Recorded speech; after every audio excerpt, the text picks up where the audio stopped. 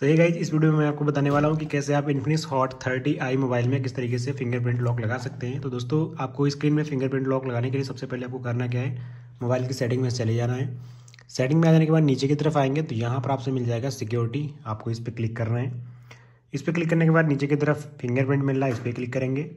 और यहाँ से सेट स्क्रीन लॉक पर क्लिक करना है। इतना करने के बाद यहाँ पर पैटर्न पिन पासवर्ड किसी एक पर क्लिक कर लीजिए तो यहाँ पर मैं पैटर्न पर क्लिक करूँगा।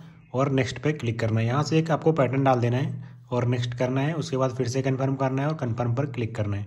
इतना करने के बाद डन करेंगे और डन करने के बाद ऐड फिंगरप्रिंट का ऑप्शन आ रहा तो आपको इस पर क्लिक करना है।